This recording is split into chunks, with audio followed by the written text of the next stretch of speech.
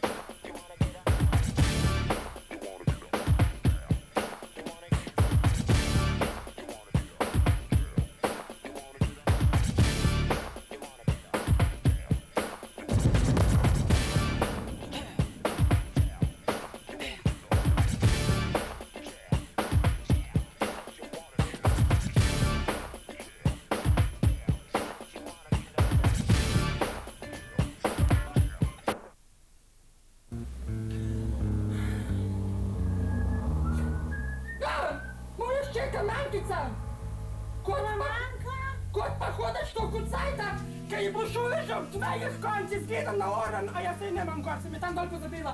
Gledam na oro, gledam na oro, dve je tri, štiri, pet, osem, je vemo Božiča, ker se tako pasno hodimo v šole, kam mi greš zdaj, ne reke? Se gleda, da žiš, kako je tako umre zdaj, takrat, ko nekaj ušpečeš. Ne sem te to mislila povedati, hotel sem te reči, da bom se začela malo rekreirati. Prav si slišala, tvoja, ma, tvoja mama, manjka, bo šla med skaterje. Med skaterje?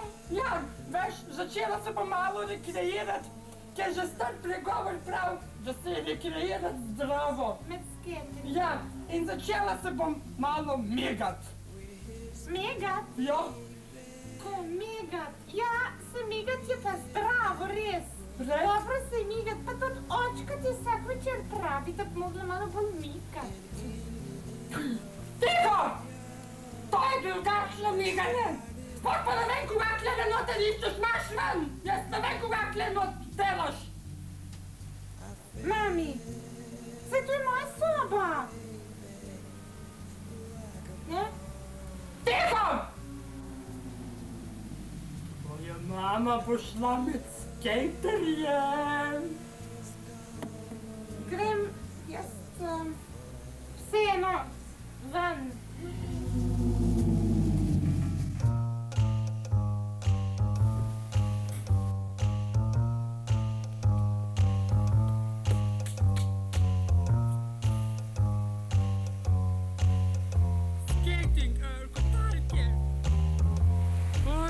Mama, manjka, pustaj kotalkala.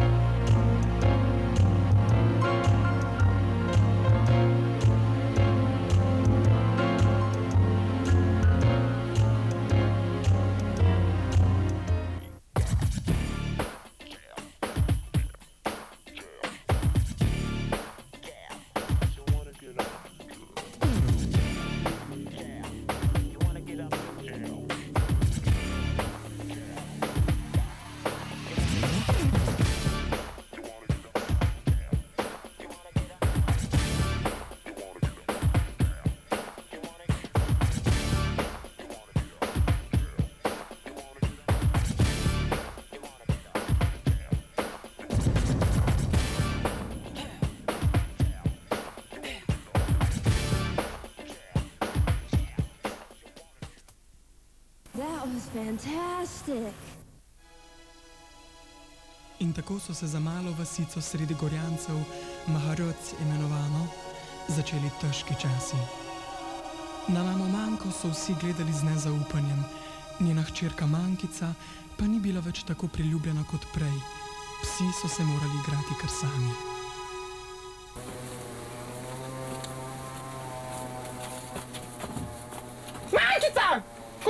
Delaš tam ne? Mami, I can take it anymore. Tako ne gre več naprej, jaz tega ne prenesem. Povejte, mamca, meni, kako se ti počutiš, ko meni v šoli pravijo kotalkarza. K se soseda dere prokleta, prokleta brezbožnica.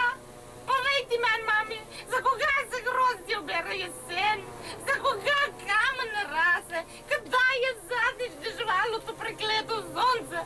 Mamica moja, jaz tako tako ne morem več. Tiho! Take te ne poznam več. Tudi jaz te ne bom več poznala, če ne boš tako utihnila, ker tam tako po gobci trešila, če ga ne boš nehala utresati, da boš momentalno utihnila. Oh, tako se z mamo pogovarjati. Veš kada? Teta Tončka mi je rekla, da se ne smem njo zaradi tebe. Teta Milena je rekla, nikoli več prijet po kosti za reksa. Teta Venka je pa rekla, da si na gibancu kar sama pečem. Na bom. Na bom. Koga to mene briga? Koga? Kaj je, bo on sva se nehal tam le tiste drva žagat, zdaj najdu, ker Boga Isusa Koga to mene briga? Mankica. Sem našla svoj smešen življenja. Ko sem se rodila, so moji mami rekli, da mi manjka nekaj koleščka v glavi. In so rekli, da mi jih bojo morali priskrbeti, a so se ti nehal. In da, da če bo treba, bojo morali tudi o Avstrijo iskati. Zdaj imam svoje koleščke, res da na nogah in ne v glavi, koleščke pa imam. In moje življenje je zdaj popolno. Še slišala? Popolno! Mami, vsak je rojen z ravno pravšnjim številom koleščkov. Samo urediti se jih mora. Urediti. Pej se učit hitro! Moja manjka mora danes narediti še osem krogov na hipodromi. Zdaj ne ne. In vaščani so se enoglasno odločili, da na pomoč pokličejo Terminatorja 2.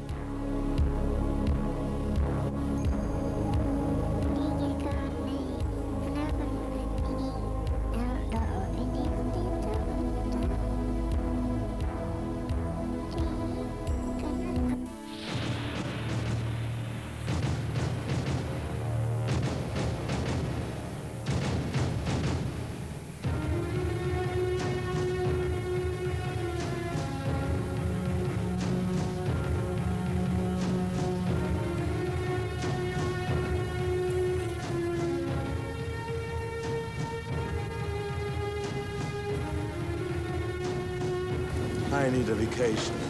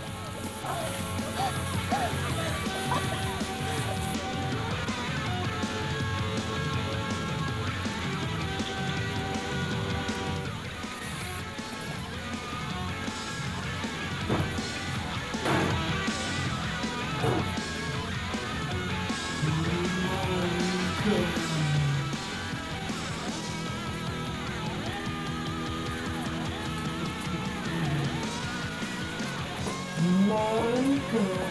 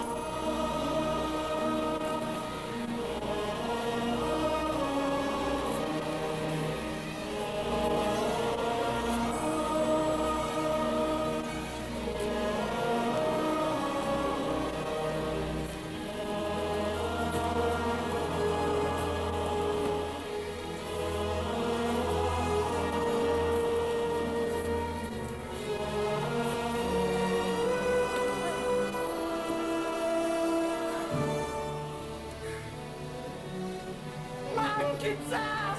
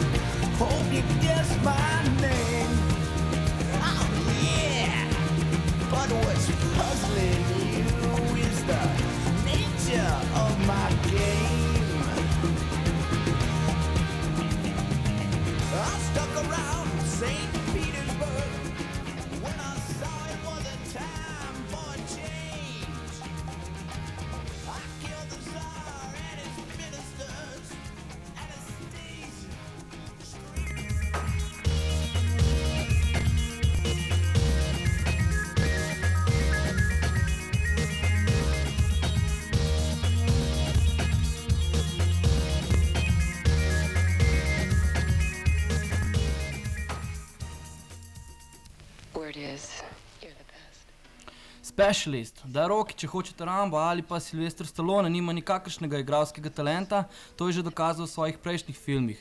Prav zato predlagam za ta film drugačno optiko, morda se nam bo potem njegova igra bolj priljubila.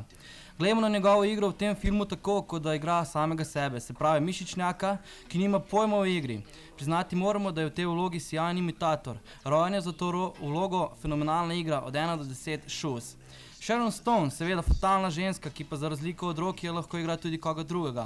No, v tem filmu igra sama sebe in verjetno je prav zato igra tako fantastična. Uboga deklica, ki je prisotna ob umoru svojih staršev in se zdaj na stara leta skuša maščevati maficem. Zato tudi najame Rokija, ki je specialist za eksplozijo. Da si ne boste kaj mislili, Roki je pozitivec, ki meče v zrak le negativce, nikoli otrok ali drugih nemočnih živali. Roki je popoln pozitivec, ne boste verjeli, na avtobusu stane, da lahko sedijo tisti, ki so tega bolj potrebni. Roki je torej skoraj absolutni pozitivec, pa kva se ta z mano zabava, kva? Pravi junak mladega ljudstva, no ja, rečemo lahko tudi že malo manj mladega. Če ga bo papež zdaj proglasil za svetnika, se sam ne bom nič čudil. Morda je še edina uvera ta, da je v mladih letih igral v porničih. No ja, nekje je treba začeti. In kaj je poanta vsega tega? Če se boste torej malo potrudili, si boste lahko gledali film do konca. Ja.